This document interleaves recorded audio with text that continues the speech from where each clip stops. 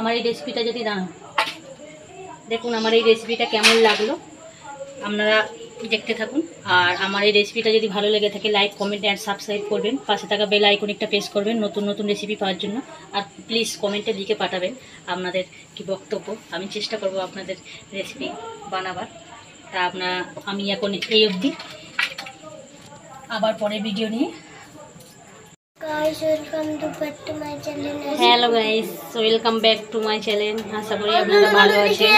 আমি এখন বানাবো গোবিন্দভোগ চাল আর মুসুর ডালের খিচুড়ি। আর পাতলা করে আলুর দম বানাবো। আপনারা দেখতে থাকুন কেমন আমি বানাচ্ছি। আর এর ওয়েদারটা বেশ ঠান্ডা ঠান্ডা আছে তাই জন্য ভাবলাম একটু খিচুড়ি বানাই। এই দেখো গোবিন্দভোগ চাল। কত সুন্দর সেন্ট এই বাটির দু বাটি নিয়েছি ছোট্ট বাটি। আর নেব দু বাটি চাল ডাল নিয়েছি। দেখো মুগের ডাল সোনা মুগ ডাল। আর গোবিন্দভোগ চাল আমার ছেলে ছড়াচ্ছে একে পিঠের চালে ধুমধাম দেবো এইবারে। তা আপনারা দেখতে থাকুন ওকে মারবো। হুম ওইসব কথা বলবেই না। ওসব কথা বলব না তো তুমি ছড়াচ্ছ এই চালগুলো ছড়াচ্ছ এগুলো তুলতে হবে না আমাকে? কতবার তুললাম? দেখো কাঁচা লঙ্কা আছে আর আদা বাটা আছে। এই দেখো আলুর সাইজগুলো দেখো কত বড় বড়। এই যে আলু আলুর দম হবে পাতলা করে আলুর দম জিরে বাটা দিয়ে আর আদা বাটা দিয়ে। এই যে আদা আদা আমি বেটে রেখেছি। আর এই যে আছে কাঁচা লঙ্কা। আর এই যে বসাবো আমি। আপনারা দেখুন ডালটা এবার ভেজে নেব। আর আলুটা ছাড়িয়ে নেব। আর এই দেখো ঘিটা কাটছে। আয়ুষ ঘি যদি একটু পড়েছে। যদি পড়ে তা তোমাকে দেখবে কি করি।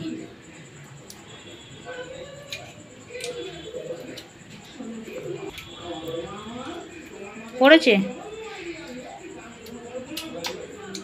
আর দেখো ঘিগুলো বার করে খেয়ে নিচ্ছে আঙুল দিয়ে।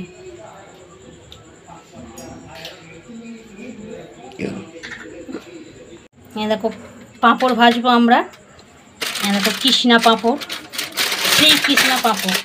দেখো সেই কৃষ্ণা পাঁপড়। ভাজবো এটা। আর যে আলু আমার কাটা হয়ে গিয়েছে। এবার আমি ডালটা ভেজে নেব। এই যে ডালটা এবার ভেজে নেব কড়াই দিয়ে। এখন আইস ডাল ভাজছে। ডালটা হালকা ভাজা হবে বেশি ভাজবো না। হালকা ভাজা হবে। আমি এটা তুলে নেব। তো আইস ভাজছে ডাল। পরে তুলবে কাঁচা আছে। বলছে। আর একটু ভাজা হলে তুলে নেব। দেখুন পাঁপড়ের সাইজটা দেখুন কত সুন্দর। এই পাঁপড়টা আমি এবার ভেঙে নেব। কেটে কেটে নেব ছোট ছোট করে। এত বড় পাঁপড় তো ভাজা যায় না। এগুলো আমি চার পাঁচ টুকরো করে নেব। দেখুন আয়ুষ পাঁপড় কাটছে। এই দেখো কত সুন্দর পাঁপড় কেটেছে আয়ুষ। এই দেখো। এই দেখো এরম করে কেটে নিচ্ছে পাঁপড়টা। চার ভাগ করে নিচ্ছে। দেখো কিরম করে কাটছে আমার ছেলে? ওই দেখো, কত সুন্দর করে করছে। সবাই লাইক করে দেবে কমেন্টে লিখে পাঠাবেন কেমন আমার আয়ুষ পাঁপড় কাটছে। দেখো পাঁপড় কেটে রেখেছিলাম, এবার আমার তেল গরম হয়ে গেছে, আমি পাঁপড় ভাজবো। পাঁপড় ভাজছি। আর পাতলা করে আলুর দম হবে আর খিচুড়ি গোবিন্দভোগ চালের মুগ ডালের, সোনা মুগ ডালের খিচুড়ি হবে। আর এখন পাঁপড় ভাজছি। গরম গরম খিচুড়ির সঙ্গে পাঁপড় ভাজা, আলুর দম আমি সবই দেখাবো। আপনারা দেখতে থাকুন।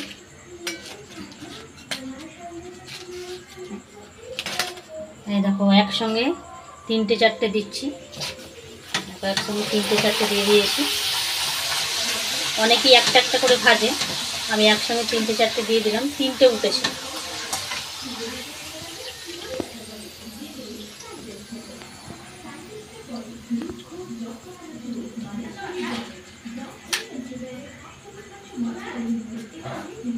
দিয়েছে কালকের রথ, ওই জন্য আজকের পাঁপড়টা ভেজে রাখলাম। কালকের রথে পাঁপড় খাওয়া হবে, এটা ভালো করে প্লাস্টিকে মুড়ে বা কৌটোতে, বড় কৌটোর মধ্যে রেখে দেবেন। তোমার দু তিন সপ্তাহ থাকলেও কোনো কিছু হবে না, নরম হবে না। এটা কৌটোর মধ্যে রেখে দেবেন, ভালো করে কৌটোর মুখটা মুড়ে বা প্লাস্টিকে ভালো করে গাটা দিয়ে রেখে দেবেন, দেখবেন পাঁপড় যেমন ভাজা আছে তেমনই থাকবে। অনেকের পাঁপড় নরম হয়ে যায়, নরম হবে না। চাল আর ডালটা আমি ধুয়ে নিয়েছি ভালো করে। এবার আমি এই যে হাঁড়িটা বসিয়ে দিয়েছি, ডাইরেক্ট হাঁড়িতেই বসাবো। আমি অনেকে কড়ার মধ্যে বসিয়ে হয়তো ঢেলে দেয়, আমি একেবারে হাঁড়িতেই বসিয়ে দেবো। এই দেখুন, শুকনো লঙ্কা আছে দারচিনি দারচিনি, এলাচ, লবঙ্গ আছে তেজপাতা আছে একটা। এই যে কড়ার মধ্যে দিয়ে দিচ্ছি। কড়া সরি কড়া নয়, হাঁড়ি। আর এই যে গোটা জিরে দিয়ে দিচ্ছি। আর এই যে আমার পাঁপড় ভেজেছিলাম, পাঁপড় ভাজার তেল আছে। পাঁপড় ভাজার তেল আমি দিয়ে দেবো এক চামচ।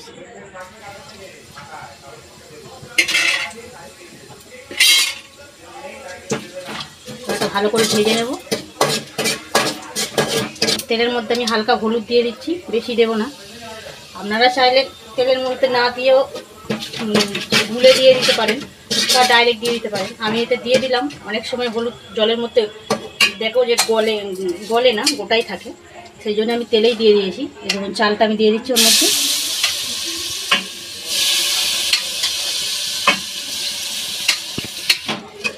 ভালো করে আমি এটা মিশিয়ে নেব যেহেতু হলুদটা দিয়েছি। এবার আমি জল দিয়ে দেবো। জল দিয়ে দিলাম। এবার আমি ঢাকা দিয়ে দেবো। দেখুন, পরিমাণ মতন আমি জল দিয়ে দিয়েছি। যেহেতু এটা সিদ্ধ হলে ফুলবে চাল ডালটা ওই আমি বেশি করে জলটা দিয়ে দিয়েছি। আর কিছুটা পাতলা পাতলা বানাবো। আর এতে চিনি দিয়ে আর ঘি দিয়ে নামিয়ে নেব। আগে চিনি দেবো না, যেহেতু আগে চিনি দিলে চালটা সিদ্ধ হতে চাইবে না, ডালটা সিদ্ধ হতে চাইবে না। কিছুটা হয়ে আসবে, ওগুলো সিদ্ধ হয়ে আসবে, তারপর আমি চিনিটা দেবো, মিষ্টিটা। ঠিক আছে, আমি এটা ঢাকা দিয়ে দিলাম। এবার আমি আলুর দমটা বসাবো। দেখুন, পাঁপড় ভাজার তেল আছে, ওতে আমি দিয়ে দিয়েছি এলাচ, দারচিনি, লবঙ্গ দিয়ে দিয়েছি যেহেতু। আর এখানে এই তেজপাতা, শুকনো লঙ্কা আমি একটা দিয়ে দিচ্ছি। আর এখানে গোটা জিরে দেব। গোটা জিরে দিয়ে দিলাম। আর একটা কাঁচা লঙ্কা দিয়ে দিচ্ছি। ঝাল বেশি দেবো না। যেহেতু আপনাদের অনেকবারই এই কথাটা বলেছি বলতেও খারাপ লাগছে। আমার ছেলে আছে না ওই জন্য বেশি দেবো না। একটু ঝাল কম দেবো। আর যে আলুটা আমি ভালো করে ধুয়ে নেব। নিয়ে আলুটা দিয়ে দেবো। এর মধ্যে নিরামিষই করব। আদা রসুন দেবো না। ভালো করে আমি ভেজে নেব। নিয়ে আদাটা দিয়ে দেবো। আর হলুদ দেবো। আর ভাজা মশলা আছে আমার জিরে সর্ষে। জিরে, ধনে, তেজপাতা শুকনো লঙ্কা গুঁড়ো করাই আছে আমার কৌটোর মধ্যে। ওই ভাজা মশলাটা আমি দিয়ে দেবো। আর লবণ দিয়ে দিচ্ছি। স্বাদ মতন লবণ দিয়ে দিলাম। আর এটা আমার ভাজা ভাজা হয়ে এসছে। লবণ দিয়ে দিলাম। আর আদা বাটাটা দিয়ে দেবো। এই যে আদা বাটা আদা বাটাটা দিয়ে দিচ্ছি।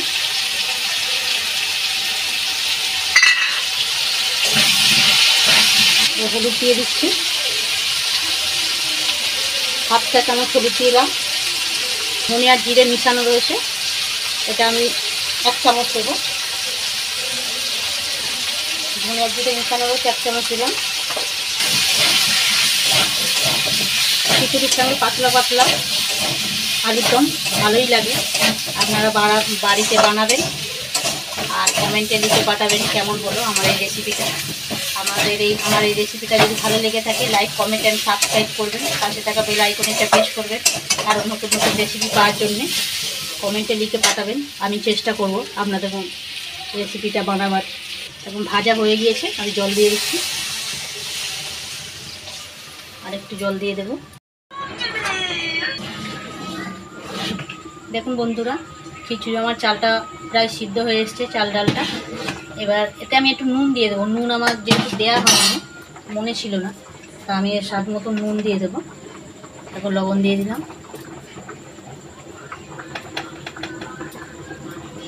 লবণ দিয়ে দিলাম। আর এদিকে আমার ফুটছে আলুর দম। এই দেখুন, আলুর দম ফুটছে। আর ওদিকে আমার খিচুড়ি ফুটছে। এবার আলুর দম পাতলা পাতলা হবে। কত সুন্দর কালারটা এসছে দেখুন। এটা এখন আলুটা সিদ্ধ হয়নি, আর একটু ঢাকা দিয়ে দেব। আর আমার খিচুড়িটা অবশ্য সিদ্ধ হয়নি, খিচুড়িটাও বাকি রয়েছে। দুটো মনে হচ্ছে একসঙ্গেই হবে। আর একটু সিদ্ধ হলে আমি এতে দিয়ে দেবো মিষ্টি একটু, স্বাদ মতো। মিষ্টি না দিলে ভালো লাগবে না। যেহেতু গোবিন্দভোগ চালের খিচুড়ি, একটু মিষ্টি মিষ্টি ভালো লাগে দিয়ে দিতে পারেন। আপনারা চাইলে কাজু কিশমিশ দিয়ে দিতে পারেন। কাজু কিশমিশও দেওয়া যেতে, ভালোই লাগে কাজু কিশমিশ দিলে টেস্টি হয়। দেখুন, আলুর দম আমার হয়ে গিয়েছে। আমি যেহেতু গ্যাসটা আসতে দিয়ে দিয়েছি, আর পাতলা বলেছিলাম যে একটু পাতলা করে করেছি দেখুন। এতে আমি গরম মশলা দিয়ে দেবো, আর এই যে আমার ভাজা মশলা রয়েছে, ভাজা মশলা, গরম মশলা দিয়ে দেবো। আর খিচুড়ি আমার দেখুন, হয়ে গিয়েছে। ওতে আমি একটু ঘি দিয়ে দেবো, দিয়ে ঢাকা দিয়ে রেখে দেবো, এরকম ঘি। ঘি আমি দিয়ে দিচ্ছি একটু। দু, তিন চামচের মতন দিলাম। দিয়ে আমি এটা ধান ঢাকা দিয়ে দেবো, নাহলে সেন্টটা উড়ে যাবে। সব জায়গায় হয়, মিশে যায়। আর আমি মিষ্টিটা দেখালাম না আপনাদের যাতে আমি মিষ্টি দিয়ে দিয়েছি, আর মিষ্টি আপনারা অবশ্যই দেবেন, নাহলে ভালো লাগবে না। এই যে এবার আলুর দমটা আমি নামিয়ে নেব একটা পাত্রের মধ্যে। নিয়ে মশলাটা আমি এতেই দিয়ে দিই। এরকম গরম মশলা দিচ্ছি। গরম মশলা দিলাম। এই যে আমার ভাজা মশলা রয়েছে। ভাজা মশলা আমি এক চা চামচ দিয়ে দিলাম। জিরে আছে ধনে আছে তেজপাতা আছে শুকনো লঙ্কা আছে সব রকম মশলা গুঁড়ো করা আছে। এই দেখুন আপনাদের আরেকবার দেখাচ্ছি। হুম, গুঁড়ো করা আছে। তা আমি এটা যেহেতু একটু দিয়েছি, আমি আর বেশি দেবো না, অল্পই দেবো। তো আমি ভালো করে মিশিয়ে নিলাম। এবার আমি নামিয়ে নেব। দেখো আলুর দম, পাতলা পাতলা ঝোল। চুমুক দিয়ে খেতে খুব সুন্দর লাগে।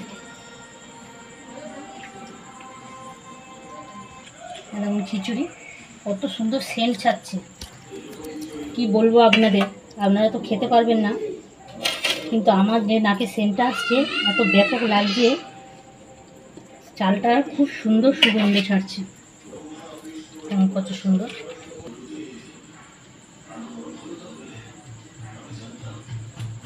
একটু ঘি দিয়ে দিলাম, ওপর দিয়ে। কত সুন্দর লাগছে দেখুন।